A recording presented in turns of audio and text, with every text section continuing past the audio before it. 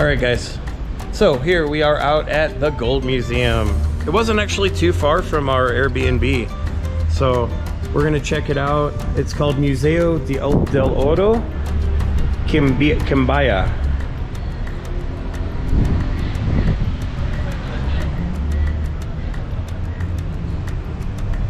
We only have like 50 minutes till they close, but I don't think they're charging tickets, which is nice.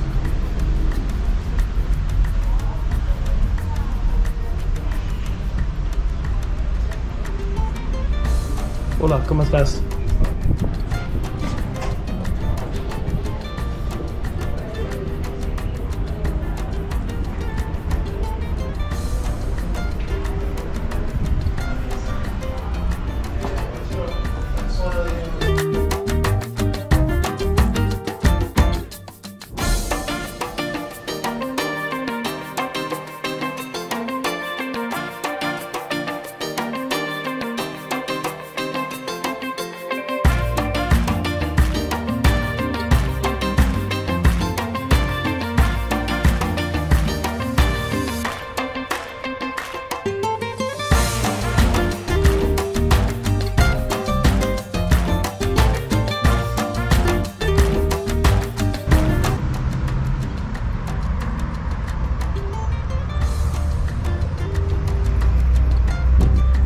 Definitely smaller than the one in um, Bogota. But the lady in the office, they actually brought her down here to open up the store. She's from Bogota. She's from the one in Bogota. So um, that one's wild.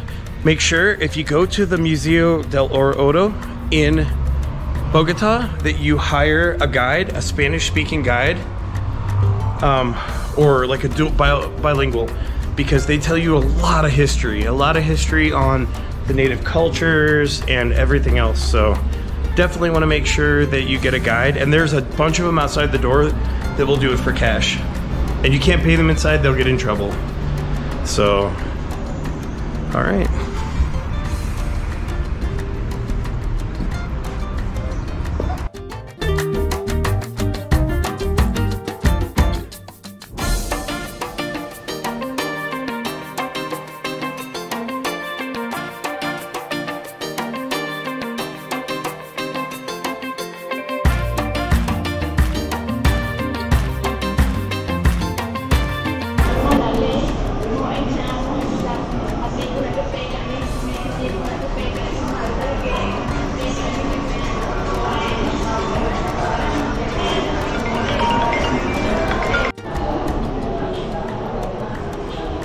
So that is a 5.56 round on the left and a 50 cal round on the right.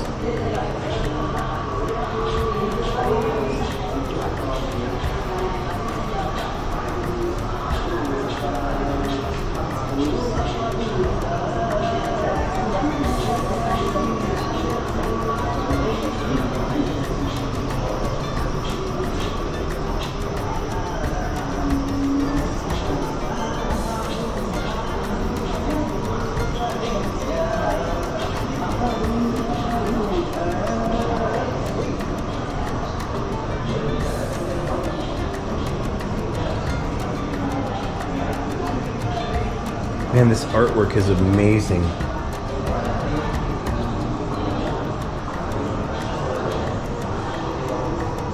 It's all the different indigenous groups from around Colombia.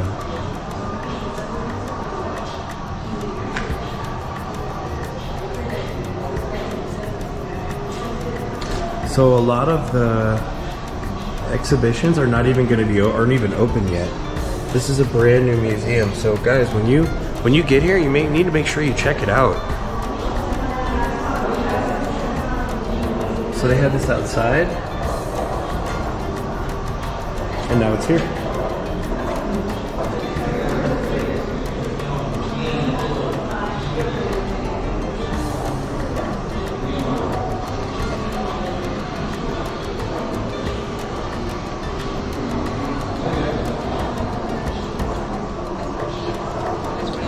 Las, Las Grandes Fábricas de la Industria, Antioqueña, fueron fundadas por hombres.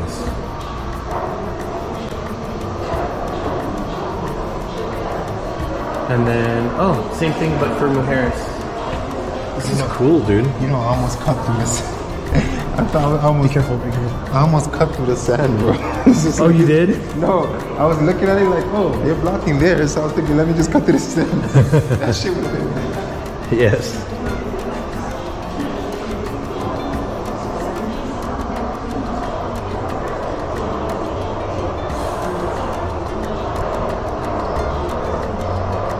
Tomas Martinez.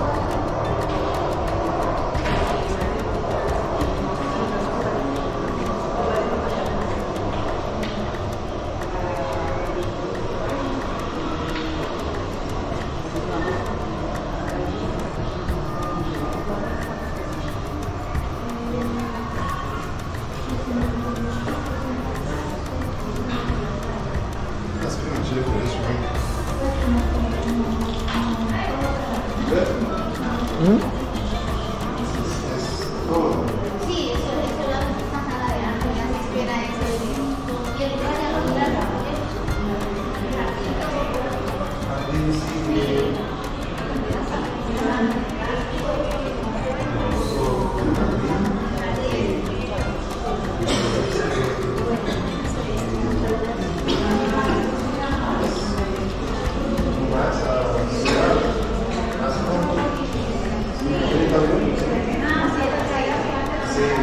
was this